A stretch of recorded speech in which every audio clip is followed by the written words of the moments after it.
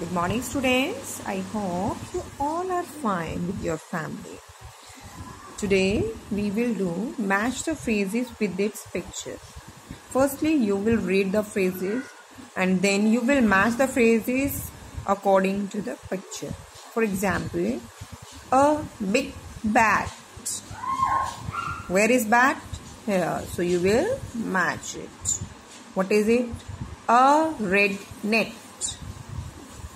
It is red net? Yes. So you will match it. Next, a fat cat.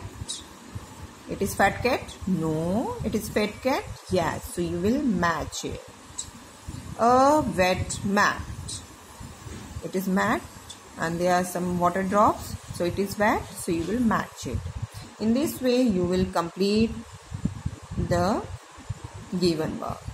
Okay and after completing this you will send the images on my whatsapp group. Thank you. Have a nice day